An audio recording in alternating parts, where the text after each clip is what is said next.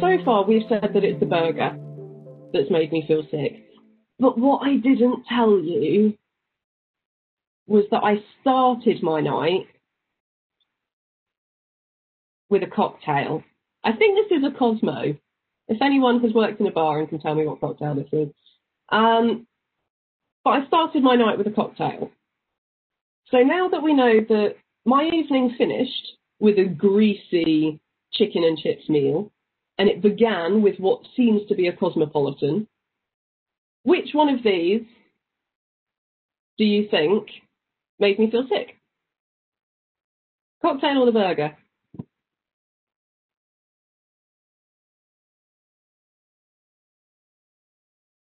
Oh, oh, we've got some some wonderfully perceptive people on here. Um, depends how many Cosmos I had. You know, that is a fantastically good point. It depends if it was happy hour or not. I would say is quite a lot of this. Absolutely, but you know what? We've still got loads of differing answers. You would think that given that we're all looking at the same data set, that we'd all have the same answer, right? We've all got the same information. Why have we not got the same answer? I might have been lying to you still just a little bit, okay? Because I also had an unknown amount of red wine after the cocktail. Which in itself, by the way, is not right because you're meant to go up in percentage and not down to avoid a hangover, top tip. But now that we've got the wine in there, what do you think it was? Was it the burger, was it the wine, or was it the cocktail? I mean, this was quite a wild night I was having. I imagine I was in a Wetherspoons. All three. Do you know what I'm really liking? You guys. You guys get it. Um, yeah, so I also had one of those and a few of those, but we're not going to talk about those in that much depth because no one likes to talk about Jaeger bombs once you've drunk them. Um, the Scotch egg. that is a fantastic point, Wesley, although it is a substantial meal apparently, so that should really make me feel better. Now, when we started looking at my horrendous or fantastic night out, depending on your on your opinion, we were all slagging off the mayonnaise and we were blaming the fries and the burger wasn't very good for me, and we'd entirely blamed that, right? Poor burger when we found out about the first thing that I did, I think we all kind of went, oh no, hang on a minute, I see where this might be going. And then we saw the full extent of it, and some of you are probably now slightly worried about how much of a high functioning alcoholic I am. So just to qualify, made up story, don't worry about me, I'm all fine. I'm I'm just got my tea, all good. Not even an Irish tea. But the point here being, as many of you have beautifully pointed out during this process, is that it is likely a combination of all of these different things that made me feel sick. That poor burger that we were all blaming to start with, if anything, I'm going to say probably made me feel better given everything that happened beforehand. But based on our first decision that it was the burger's fault, this means I could have exactly the same night tonight, and as long as I don't eat the burger, I'll be fine. How do we feel about that? if I'd had exactly the same night, drunk exactly the same things, but I just didn't have the burger, do you think I'd feel better? Not so smart. Kim's Kim's played this game before. Um, there would be less to throw up. Do you know what? That's not wrong. I'm not. You're not wrong at all. Um, probably not going to make me feel that much better though, right? What about what about if I did this and just didn't have the Jaeger bombs? How do you think I'd feel then if I had cocktails and wine and lager and then we were calling it a night and went to the kebab shop and got a burger? Better or worse with no Jaeger bombs?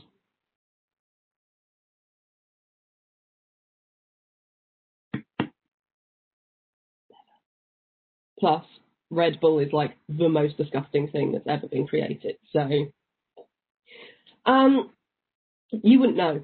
Well, that's fair. James is a James is a purist by the sounds of it. I imagine you work in data science potentially, um, or strategy. But yeah, you wouldn't know. You'd have to do some testing. I feel like many of us have probably done this informal testing um, over quite a few years as to the attribution of blame in this process. Um, so why am I sitting here? Uh, this isn't AA, I promise I'm not. This, this is not my first step of admitting I have a problem. Um, this is why we're looking at this. Because anyone who dialed in to this session up to 14 minutes ago, up to 20 minutes ago if you're an early bird, that thought that you didn't understand attribution, you do.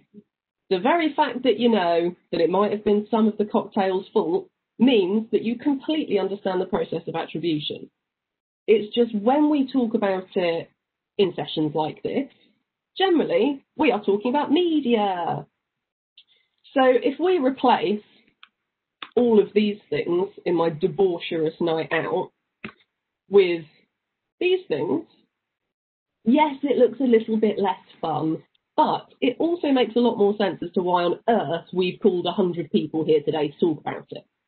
So in this instance, where we've got the cash flying around at the end, this is someone buying something. This is beautiful, by the way, Ryan.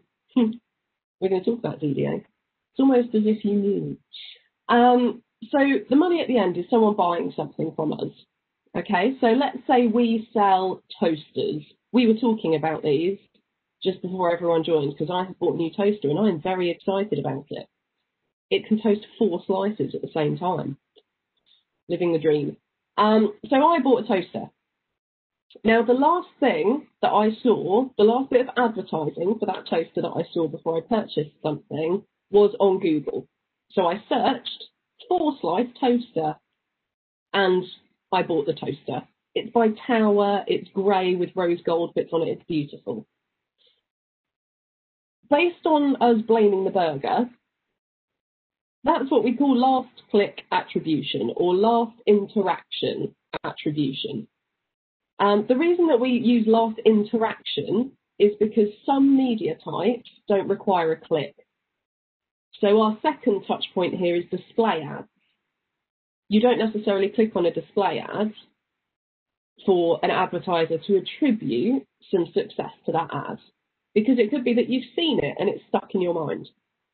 So if we blame blame the burger, blame give the credit to Google for this sale, we are using last click attribution. And this could lead us to make decisions such as I'll drink all the same things, I just won't eat the burger and I'll be fine. Let's not spend any money anywhere else, let's just spend it on Google. Because, like, people Google stuff and then they buy something, right? So, why don't we just do that? It's such an obvious thing. Oh my God, we've cracked it. Why are all these businesses spending so much money that they don't need to spend? If you think we stopped running all of the media that we've got on the screen here apart from Google, do you think our sales are going to go up, down, or stay the same? So we stop running Facebook, we stop running display, we stop running YouTube, we stop Twitter. We've all agreed those sales are going down. Yeah. Oh, apart from Gabriella thinks they're going up. Depends on, uh, do you work for Google? so we've all agreed, right? That we're not we're not going to stop running all our other media because they probably have some part to play. Now, if we all broadly agree that all these other media types have a part to play, why do advertisers the world over generally measure their marketing on last click? This is a bit silly, right? Um, again, getting drinking too much, getting super hungover, and then saying I'm never eating burgers again because I was so hungover. That that's not a robust hypothesis, I would say. Uh, but this is what, like I say, 99% of the clients that I've worked with over the last 12, 13 years have been using for their measurement. And Sarah in the chat has absolutely hit the nail on the head. It's easy to measure a lot of things are easy. They're not necessarily the right thing to do. Um, it's easy to scramble an egg in the microwave, but I bet Gordon Ramsay would yell at you for it. Um, so it is easy. It's, it's, sorry, a little bit lazy. And I say this as someone that has been completely complicit, but it is a little bit lazy to use this last click attribution. Um, it's also something that everyone can understand. I think if there are many a trading meeting that if you go into that meeting and say, well, um, to the to the food poisoning point earlier, well, 24 hours ago, uh, someone saw a display ad. So you know, the display ad made them buy something. That's going to be quite a hard sell to some stakeholders, right? That's a more difficult conversation to have than to say, well, they Googled it, they clicked it, they bought it, Bob's your uncle, fun is your aunt, we sold a toaster, well done us, let's all go to the pub and socially distance. Um, so the way that we look at tackling this, we've got some models, not like don't get excited, not like scantily clad. Uh, we've got some attribution models. And these are just fixed ways of identifying how much credit we give to these different touch points. Because it's right from this, does anyone like how much credit do we what percentage of one sale do we want to give the credit to YouTube? Is YouTube like 20% of that sale? Was it like 10? Actually, was it 90? Because it it's super like, don't know, let's just guess. We don't like guessing when we're spending potentially millions of pounds on all of this stuff. Guessing isn't the best thing. So one of the ways that we can look at measuring this is referred to as first click or first interaction. Now, first click, remember my evening started with a cocktail? We could refer to that as a slippery slope. We could say that that first drink probably caused the rest of it so we should really blame the gateway drug, which was the cocktail, for everything that happened afterwards. But, you know, the Jaeger bombs, come on, let's not pretend that they didn't have a massive play to part in this part to play in this whole debacle. So we've got first interaction or first click attribution. Super helpful if we want to work out what, what started this whole process, if we want to know how someone found our business, if we've just set up a startup that literally no one has heard of yet, apart from the people that work there, we're going to be quite interested in how someone found us. If they then went on to buy something from us, you know, when you get those surveys and you bought something saying, How did you find us? And it's going to be quite helpful to know, but it's not going to tell us anything else that happened in that process. So we can kind of go, Yay, people are talking about us on Facebook we don't really know if that's made anyone buy anything or what else has happened in that process. We've got, I just feel like I've turned this into the villain of the piece, last click attribution or last interaction. This will attribute all the credit to the last touch point, the last thing that happened before someone purchased an item. Or as someone mentioned in the chat, opening your mouth to be sick could have been last click. Um, so last click is great to work out what it was that just nudged someone over the edge to buying something. I have been thinking of buying a toaster for three years. I'd love to pretend that I'm joking, but I'm really not. Um, I have used a second-hand toaster for three years. And the thing that pushed me over the edge to buy one was actually Black Friday. So I was like, ah, hang on a minute, I might be able to get a cheaper toaster. Also, I'm at home a lot more because of lockdown. I am eating a lot of toast, guys. Um, so as far as Tower, the toaster company, are concerned, it was like partly seasonal, um, but also Amazon was my last touch point. It doesn't tell them how I decided I needed to buy a toaster. It doesn't tell them if I've interacted with their brand before, if I knew the toaster that I wanted to buy. And this is the kind of arbitrary way that we're measuring media. Now, if we don't like any of these, we've got something called linear. Um, do you remember when you did school sports day and you try really hard? Maybe you were like five years old and you try so hard to win the races and then you were a wee bit disappointed that everyone got a medal. Even the really slow kids that didn't even bother got a medal. And this is kind of what linear attribution is. This is it's well done everyone for taking part. It doesn't matter if the touch point was at the beginning, at the end, if it was significant, if they watched a video or clicked an image or just saw your display ad. Using linear attribution, let's just divide it equally between everyone. So if these four touch points are search, social, display, and YouTube, each of those channels will be credited with 0.25 of a sale if one sale took place after this process. What do we think of that? I mean, it solves some of the problems, right? We've we've talked about how some of the other models neglect certain touch points. Uh, how does everyone feel about this? If you pop in the chat, how do you feel about everyone getting a medal?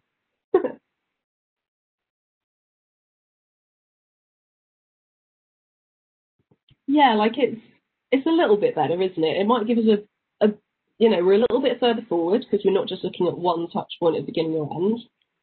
Um, there's definitely pros and cons. Kim's mentioned it gives too much credit to some channels. Sarah said we've got no learnings from it, which I think is a really fair point. Because what linear attribution kind of does is just says, these are the things the user saw. And you're like, okay, thanks, I guess. is not the most useful thing in the world. And yeah, as Angelica mentioned, I'd want to know who worked hardest to earn the medal. Um, this is a meritocracy, guys. Um, so yeah, we want to know which channels actually did something useful. This is super difficult. If anyone here has ever been involved in an econometric study, um, those of you that have are probably breaking out in a cold sweat right now.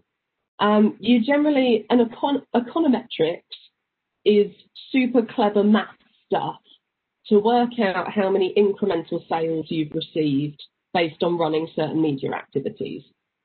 So if you weren't going to run any of that media, how many sales would you achieve and which juice is worth the squeeze, essentially. Now, when you run econometrics, it answers these kinds of questions for you, um, which is super helpful. It will tell you which channels have the most impact. The problem is you probably need to get around a year's worth of data at a very granular level, pass it over to the clever maths people, they're then going to mull it over for up to maybe six months. I see, I've genuinely seen this take as long as a year. And then to go, yeah, I mean, keep doing search. It's working. Thanks. That was 18 months well spent. Um, so as much as econometrics can help, it's a very long-term solution. You need a lot of people involved in it, a lot of data. It's quite slow. Da, da, da, Enter Data-driven attribution. Data-driven attribution is the holy grail of attribution right now. And this is because, as you can see, following our different icons with our, all our little lines matching up depending on how much credit we're giving to different touch points, this one looks a bit jazzy because it doesn't matter if it was first, last, in the middle, near the end. Um, They've all got different credits. How did this happen? What do we do? It looks so insightful and wonderful. Well, what we do here is we start this off by within your, say, analytics or campaign manager, whichever, I'm going to use the Google example, Google DDA. Um, within whichever GMP product you're using, you will apply labels to your different bits of activity. So if you run attribution, if you want to look at how credit is being allocated across touch points, the way that you can do this generally is that within the interfaces, you, if it's a search interface, your activity is broken down by campaign. Right? If it's a, a display campaign, it might be broken down by network or placement. We might not want that kind of insight. We, we might want to know how our shopping or e-commerce campaigns are affecting our social campaigns.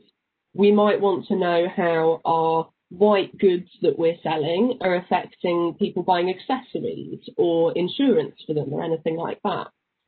So by applying labels, and I don't mean like a sticky dynamo label, they're in the interface, you click some buttons to apply these labels, you can indicate to, in this case, Google, because we're using Google as an example, um, which bits of activity fall under which categories that are of interest to you. So we just go, oh, by the way, all of this stuff, these are all um, white goods, all of that stuff, that's all furniture. Because Google won't necessarily inherently know that from our activity running on those platforms. So we label everything so it knows the different categories that we're measuring against each other.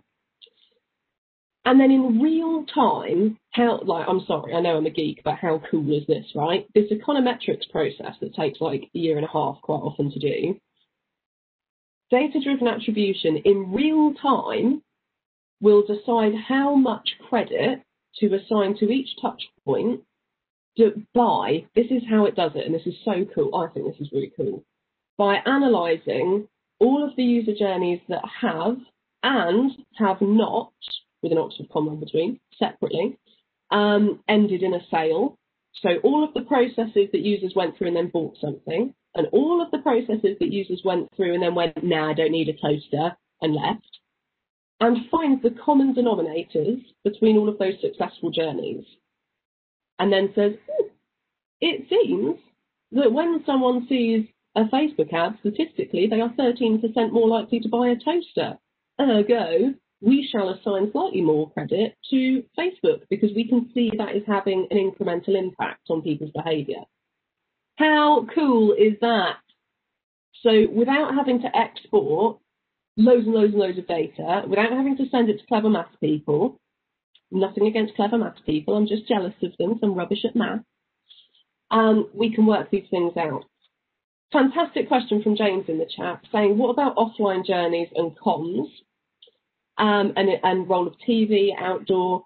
So what we can do here is we can upload if, if the data that we can upload has a Google Click ID associated with it, we can upload offline data to be slotted into this journey so it can take so it can be included in this data. I'm going to be real with you guys. This is primarily a digital solution. I am not saying that you will be able to ascertain the full value of your TV out of home, you know, six six sheets on bus stops and press activity. But as far as digital goes, it's going to give you a really good idea of how those different channels are impacting your overall sales volume. It's also going to be really helpful to deduplicate the data. So instead of saying we got one sale and they saw all of these things, so we'll just give them all credit, we can make this more scientific. We've got a question in the chat here um, from Javier. Thinking that we want to run with data-driven attribution, what's the weighting factor that we need to use for the impressions, and should we take the viewability as another variable in the formula? Awesome question.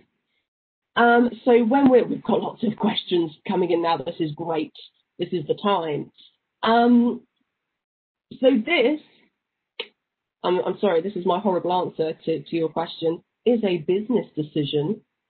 Um, so viewability, I think, is a really fantastic point. Yes, that I would say that should be taken into account because a viewable impression is worth a lot more than a non-viewable one. If there is anyone here who is not sure on the definition of viewability, tell me what this book's called. Come on, it's on the screen.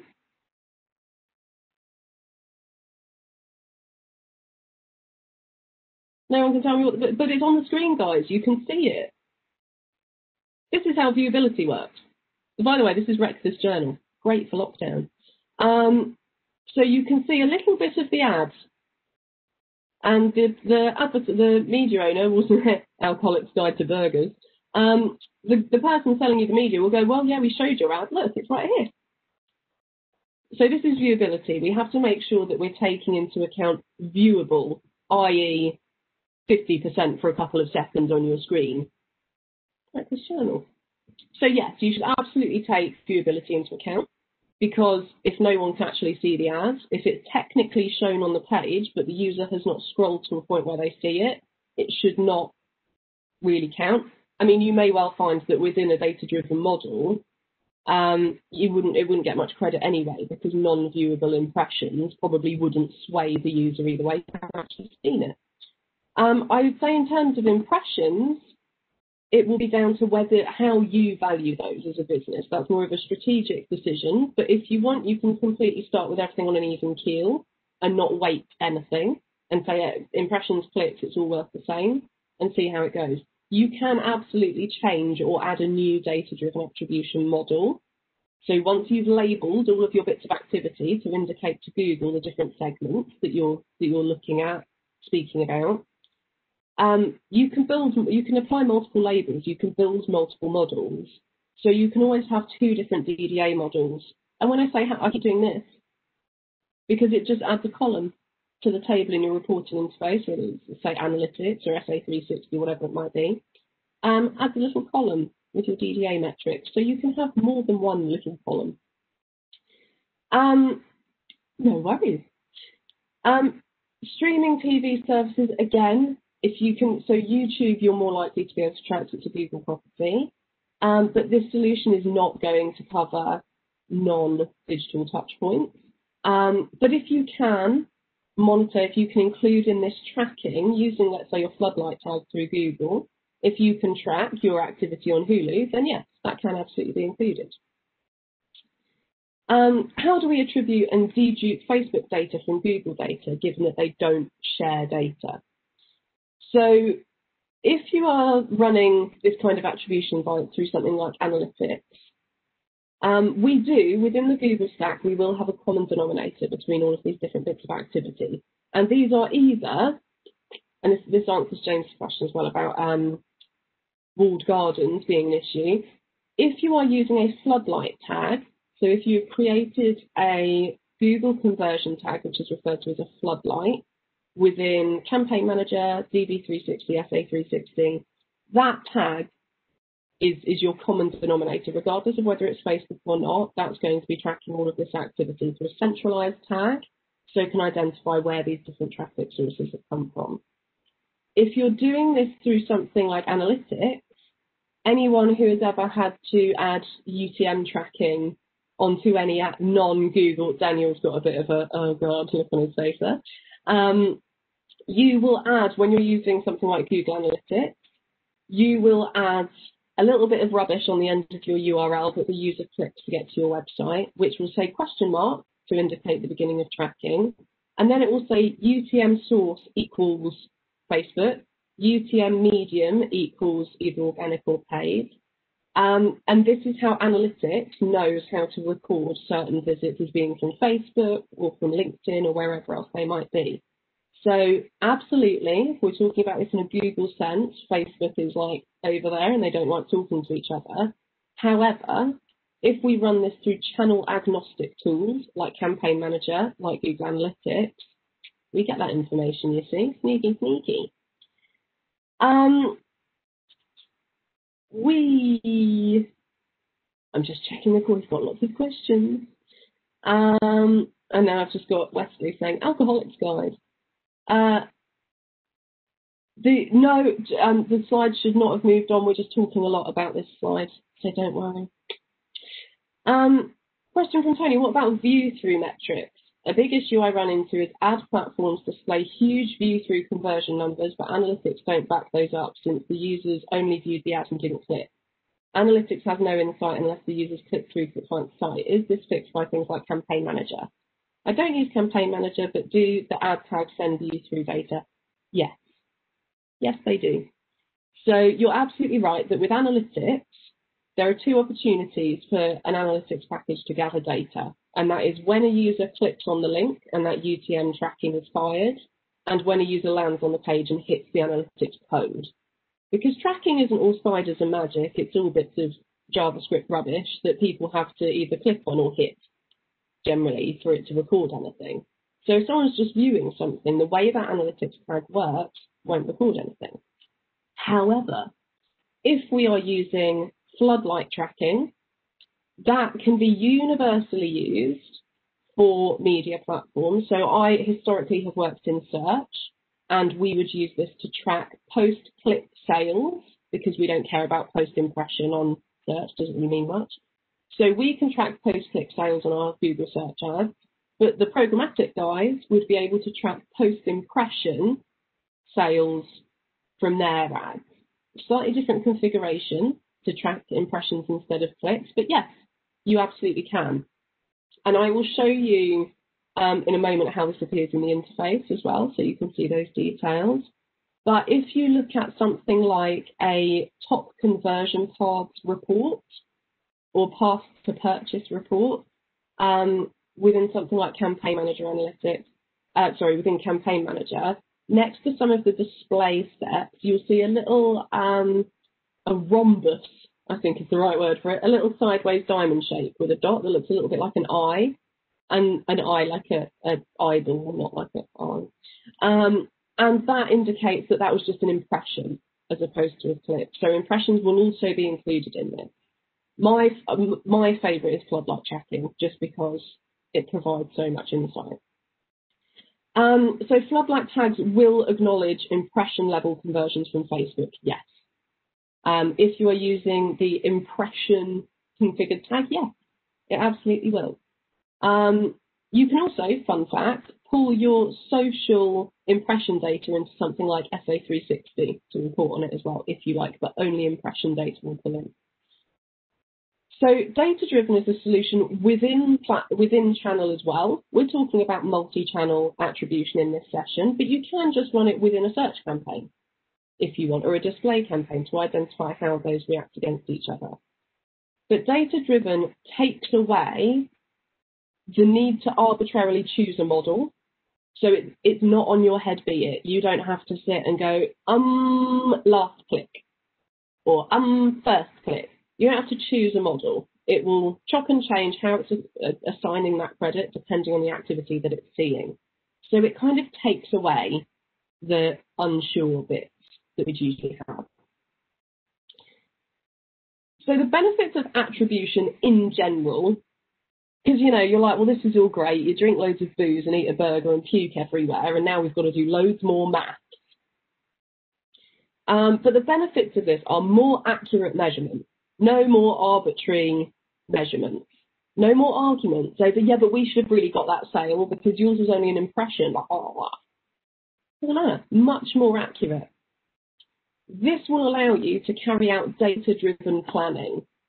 So I know, for any of you that work in planning, I know very well that your budget might go down 10% year on year. So you will take 10% off of all of the budgets that you had of all your channels and go, ta-da! This is our annual plan. Um, that's fine. It's quick. It's clean. Kind of erroneous, but you know, I get it. But when you are running something like data-driven attribution, you can very, very simply carry out that planning process using kind of actual performance. You're not guessing. You're not having to just do year on year. Because by the way, if your media plan was wrong five years ago and then you've just kept changing it by 10% here or there as you go on, it's still going to be wrong. Um, so this gives us a lot more data to inform our planning process. And it also means, and this is super important, that we can optimize towards the user journey. Yes, you might have a social team and a display team and an agency that runs your search and a creative agency and all these different. The user does not care about that. They do not care how you're structured or who was invited to which meeting or, oh yeah, but I don't really like her because we used to work together in this. Doesn't matter. The user has to see this as one very coherent journey. So using attribution and being able to identify how that user is responding to different stages in that journey, we can then optimize towards how the user is experiencing this campaign, not just how we're planning it. And I'm going to show you, I keep, I don't like people telling me things theoretically and not showing me anything. So this is attribution. This is what happens um, when you set up attribution. So you can see within here, this is from analytics, and we are in the attribution section of analytics. So you can see up here, we've got last, last interaction selected. We've changed that to a different model, and we say versus first interaction. Let's choose that. And now you've got two sets of numbers. Yay! One set of numbers is telling you on a last non-direct click, which is an analytics attribution model, that's last click but discounting anyone that's just come straight to your website by typing in the web address. Because for marketing, we're not that fussed about those people. So this is going to show us how many sales do we attribute to each of our channels if we give all of the credit to the last non-direct touch point and the second touch point that you can see we're choosing the drop down here is how many sales do we credit to each um, channel where they were the first interaction in that successful user journey. And if you watch, it's just going round and round and burn it into your brain. But if you have a look at the numbers that come up, you will see variation. For example, in organic search at the top, it's 277 versus 251. So you can see that depending on what model you're using, your sales volume for different channels will change. Oh no! what do we do now? Now, we've just got two sets of numbers. That's handy. That's going to be fun when we try to explain that to everyone else in a meeting. So bear in mind, if you look at doing this, when you build a data-driven attribution model or when you're choosing an attribution model, I don't know if this is a consolation or going to give you a feeling of existential crisis, but you will never be right. There, there is no correct when it comes to this. There is probably quite inaccurate and more accurate. But this is all just depending on, you know, you see a six and a nine. Depending on which way you look at it, it's either a six or a nine. You'll never really know which number it is, but you just have to pick a perspective and make a decision. So when we're talking about attribution models, there is no right or wrong. There is just slightly more accurate and less accurate. So you as a business or as a team, an individual, however it is that you're running your, your media, pick a truth. Pick what your truth is. Historically, that truth has been last click. Not quite arbitrary, not very scientific, probably not very accurate. So let's pick a new truth. And there are a few steps between attribution measurement and planning and optimizing against those numbers. Because to start with, you will be in this position where you've just got loads of numbers. And that's going to make life easy sometimes, and sometimes it's going to make things feel a little bit more tricky. So step one is just going to be having those numbers. After that, you will have to have some conversations with whether it is chief marketing officers, marketing directors, data teams, whoever it might be, about what those numbers are and what they mean um, and why you're using them. Then you might start monitoring them alongside last click to see what the differentiation is. And then the step after that might be carrying out optimizations to your campaigns based on those DDA numbers, those data driven attribution numbers. And then once you can see that those optimizations based on those numbers are, are, are helpful, are working, then you can take the plunge and go, right, let's plan next year or next quarter against those DDA numbers. And what that means is let's give more money to the platforms that, according to DDA, are doing really well. And that is when you will be fully data driven as an organization. To start with, it's just going to give you numbers. Unfortunately, having a gym membership does not make you healthy as much as I lie to myself in the same way that building a data driven model does not make you a data driven organization. It's acting on it and making decisions based on that data that's going to make that difference. So the first step is getting it all set up, but that is not the last step. And bear in mind, when you're in doubt, if you think, oh, I don't know, maybe last click, maybe maybe everyone should get a model, uh, a medal, Freudian slip there, uh, maybe linear, maybe last click if you're in doubt, go data driven. And that's, that's not as dramatic as it sounds. Set up a data driven attribution model, add a column in analytics or in SA360 or campaign manager, whatever tool you're using, add a column for your data driven conversion numbers and just have it there for a bit. Just have the numbers there to bear in mind. So when you go to report back that actually organic search sales numbers have dropped, you can kind of just go, hang on a minute, I'm just going to have a quick look at the DDA numbers and see if actually that's just a last click thing, because otherwise you're saying that something's unsuccessful when actually it's not. It's just not looking great from the from the perspective from which you're looking at it. Um, question from Sarah: How do you set up floodlight tags? So this can either be this can be done through um, DV360, SA360, or Campaign Manager. Um, so you would go into, for example, Campaign Manager, and there is an option that says New Floodlight Tag, and you will instruct um, the system where that conversion takes place. You'll place a little bit of cody rubbish on the pages that you're tracking, and you'll need to configure those with your development team to track whatever it is that you need to track. Um, if you're using Google Tag Manager, this is a bit easier. Um, so there's loads of help um, help pages online, and also I will be showing you some of the um, courses that we offer as well. So we offer training in setting up floodlights. So if anyone wants to get in touch with Jellyfish Training, we can help you with that. And a question from Jamie Lee, does this DDA model in Google Analytics take into account view-through sales or conversions from Facebook? So you can view your floodlight data through Analytics if you want to do that. So you can log in through, and the data will be collected through other GMP products, but you can view it through Analytics if you link those accounts. Otherwise, you can view it in Analytics without that view through social data because Analytics can't track like that. Or you do you view it through Campaign Manager, which will take into account everything. So Floodlight is all singing, all dancing, and you can view that through any platform. You'll just need to link those platforms through the GMP Integration Center. Analytics is a wee bit simpler because it's done through UTM tracking, but you won't get that impression element. So I would suggest using Floodlight. Um, for standard tracking, Analytics is recommended because it, um, it collects a lot more data without further configuration being needed.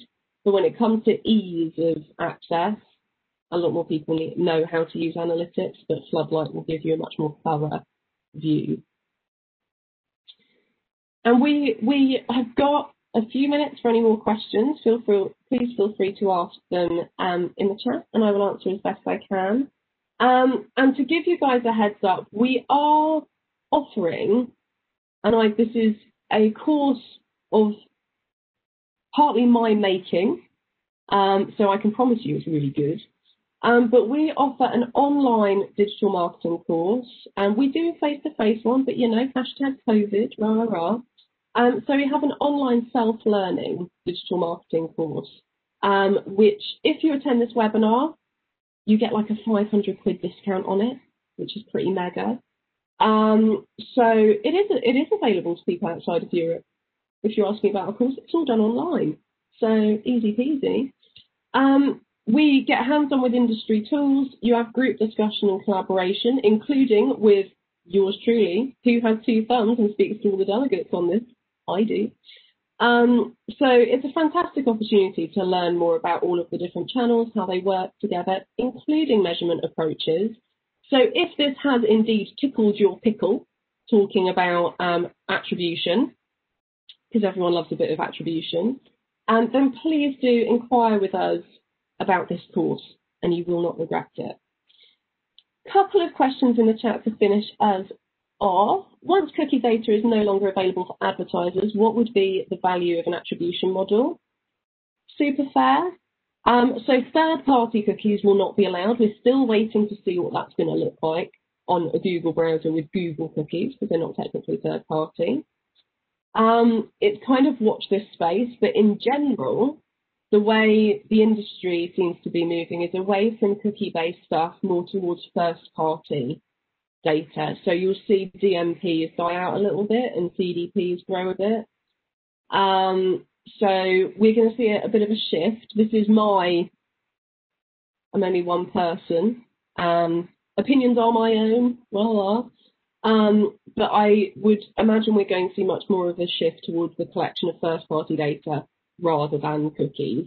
I would also say, which again is probably a bit of a maverick response, but you, you make the point that cookies are going to kind of die out. Um, for anyone that's not aware, Chrome, uh, Firefox and Safari have already sacked off cookies. Um, so you're not tracked in the same way as you're using their browsers. And Chrome have said that in the next year or two they will be doing the same thing, um, which is more of a concern because Chrome is used much more than the other browsers.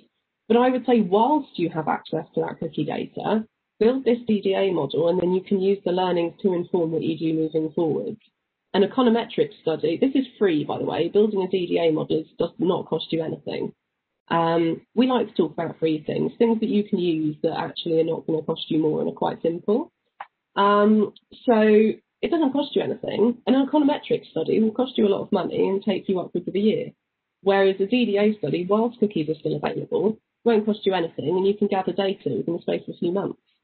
So I'd say whilst you've got cookies available, set this up, get the learnings, and you've just saved money on a econometric study. Um, and then final question from Tony, in case anyone wants to ask anything. Will the recording of this webinar be sent out to attendees?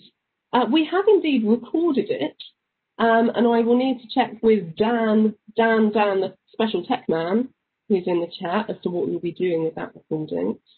Um, it will be sent out to everyone via email. That's not Dan, that's Hannah, but thanks, Hannah.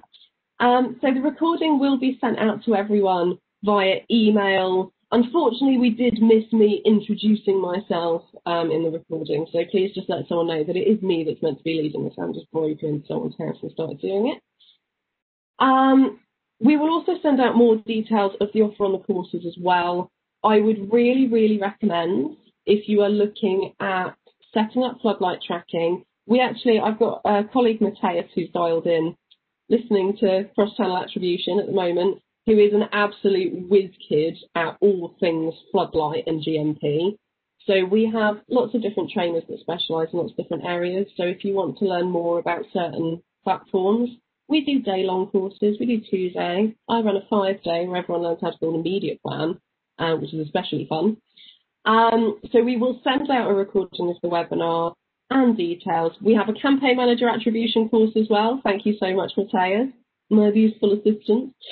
Um, thank you all for joining us this evening. It's been an absolute pleasure meeting you all. You don't really meet anyone nowadays, do you? Um, I hope it has been helpful for everyone. We might, uh, to Sarah, we might actually have that on our blog. We might be able to find one of those or at least send you a link to one. Um, you can also Google it. There are some great sources, um, sources, acronym dictionary things out there. But yes, thank you so much. Thank you very much for staying until the end as well. We've missed a few people, but we've still got most people. Um, you can find me on LinkedIn. You can find Jellyfish on Facebook and LinkedIn and everything else. If you've got any questions, feel free to get in touch. And otherwise, have a wonderful evening or day, depending on where you are. Please do take care and stay safe. Again, just more so depending on where you are in the world. And hopefully, I will recognise some of your names in, in future courses and we'll get to talk a little bit more. So thank you so much, everyone. Bye.